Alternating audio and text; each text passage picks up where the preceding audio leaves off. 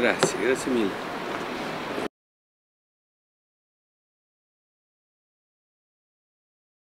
Ho cominciato a appassionarmi di queste cose, già ho fatto qualche giro con gli studenti, a vedere, riconoscere gli alberi eh, vicino alla scuola, della zona, eccetera. E mi ero munito di questo mio piccolo Vangelo, che è stato il primo libro che è molto utile, un manualetto così molto, eh, molto eh, semplice, maneggevole, eccetera, e quindi ho cominciato con questo e poi ho visto altre cose, poi oggi anche su, su internet ovviamente è facile trovare.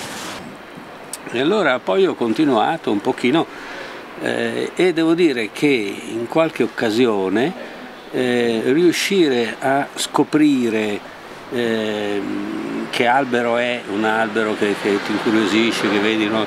è un'emozione, una cosa mh, bella, cioè ti dà un senso di, di conoscenza, di vicinanza alla natura, insomma. E qualche, qualche volta mi è successo anche con alberi un poco rari, non, non particolarmente comuni, insomma. Poi naturalmente eh, ci, sono, ci sono anche delle difficoltà soprattutto eh, per certe specie di cui esistono tantissime varianti e allora lì eh, saper riconoscere l'uno o l'altra variante è un po' complicato.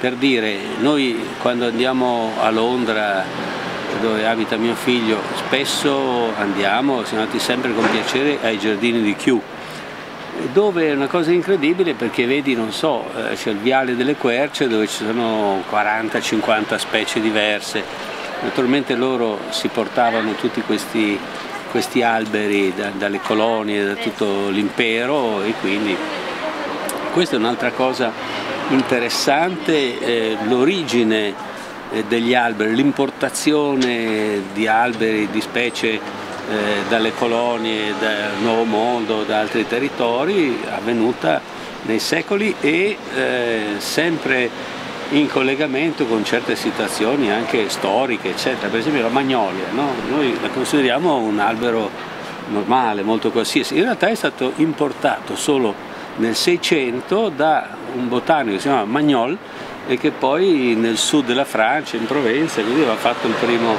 impianto, il primo giardino botanico dove c'era eh, questo, questo, albero e poi si è diffuso anche altrove, eccetera. Poi tante cose insomma, su, sulla storia degli alberi sono molto interessanti, molto curiose, in rapporto anche a questi, a queste vicende, in particolare sulla storia del, degli alberi eh, importati eh, nell'Ottocento dalle varie parti del mondo.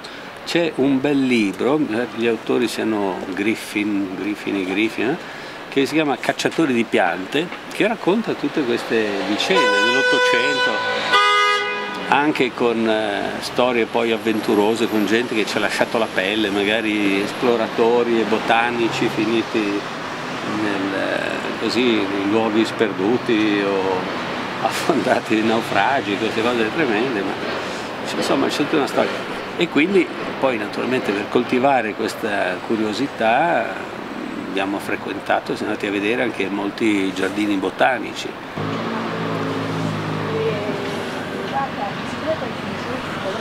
Questi sono disegni fatti a querelli? Eh, penso di sì. Beh, ma eh, i disegni dei botanici sono bellissimi. Eh, Solangiana credo, cioè non è la magnolia grandiflora quella solita, no? Ha, tra l'altro queste qui vedo che sono eh, delle eh, piante che hanno le, le foglie che, che cadono, no? non è come la magnolia che invece è verde perenne, eh, non è decidua. Vedi quella lì, eh, c'era eh, il chiostro delle grazie, sono andato a vederlo la settimana scorsa, una fioritura splendida, forse ce l'ho qui, ah forse te l'ho mandato, no.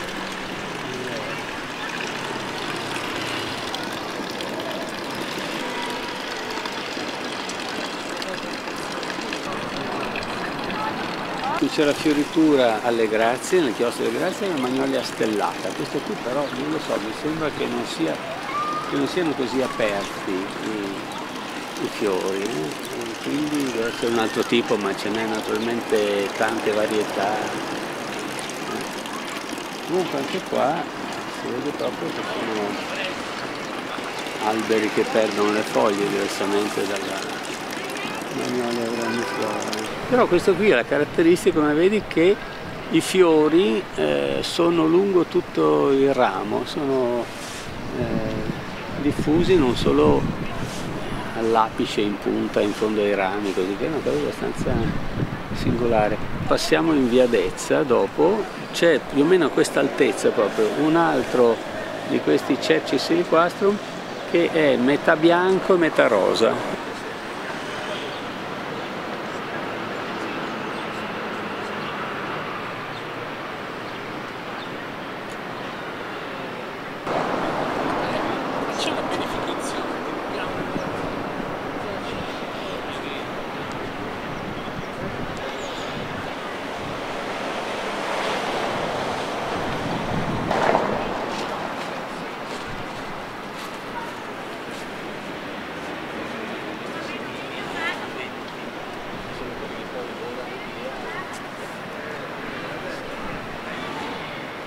Questi qui poi sono tutti semi, tutti destinati in teoria a fare una... Beh, se da ogni seme nascesse un altro olmo ce ne sarebbe un po' troppi, no?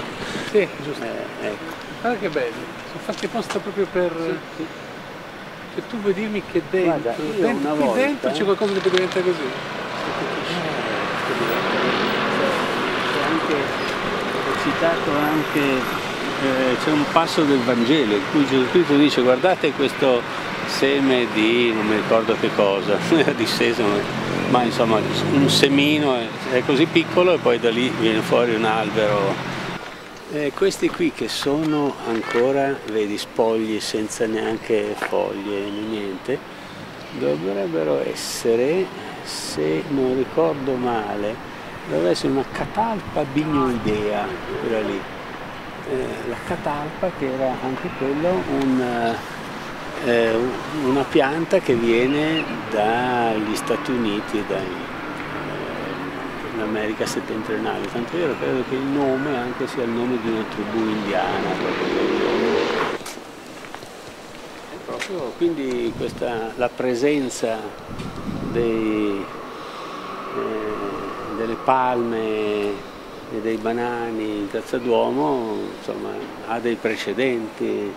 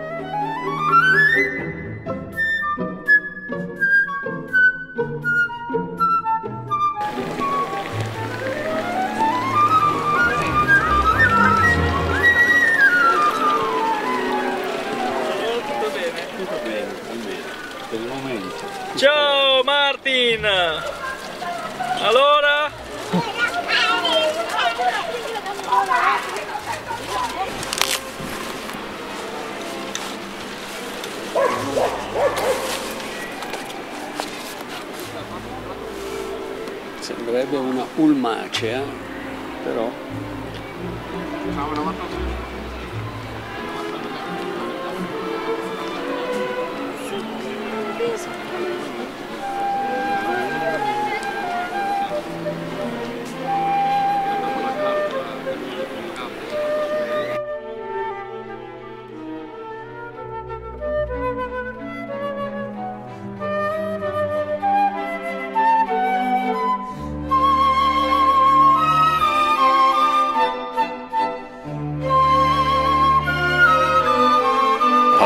Paulonia tomentosa.